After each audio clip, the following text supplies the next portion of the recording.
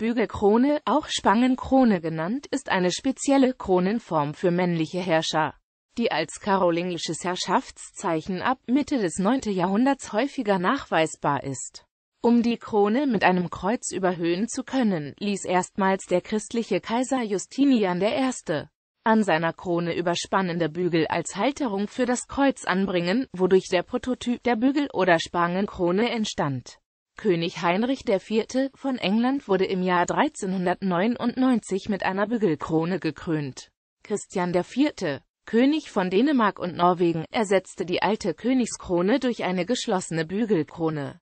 Die Bügelkrone war anfänglich eine vierzackige Blattkrone mit Perlen zwischen den Kronenzinken. Später wurden die Perlen durch kleine Kreuze ersetzt. Der Stirnreif war einfach und mit wenigen Edelsteinen bestückt.